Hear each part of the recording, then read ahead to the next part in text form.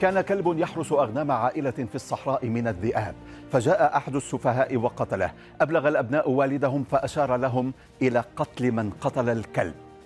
فكروا بأمر أبيهم وقالوا لقد كبر الرجل وأصابه الخرف. كيف يقتل رجل بكلب؟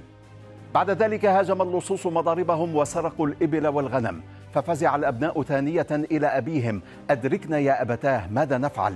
فرد عليهم اقتلوا من قتل الكلب. تيقن الأبناء أن أباهم قد جن. نحدثه عن أرزاقنا ورأسه منشغل بقاتل الكلب. بعد أسبوعين اختطف قاطع طريق من قبيلة مجاورة إحدى بناتهم وسباها. فعادوا مجددا إلى الشيخ. أنت كبيرنا ولا نخوض حربا دون أمرك. ماذا نفعل وقد سبيت ابنتك؟ ولم يسمعوا منه إلا نفس الجواب.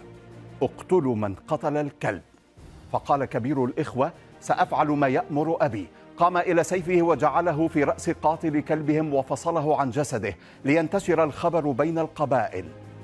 فقال سراق ماشيتهم إن كان هؤلاء قد قتلوا رجلا بكلب فما عساهم يفعلون بنا وقد سرقنا حظائرهم. فتسللوا ليلا وأعادوا الدواب أما القبيلة السابية لابنتهم فأرجعت البنت إلى أهلها وخطبتها لابن شيخهم. عندها أدرك الأبناء حكمة الشيخ العجوز.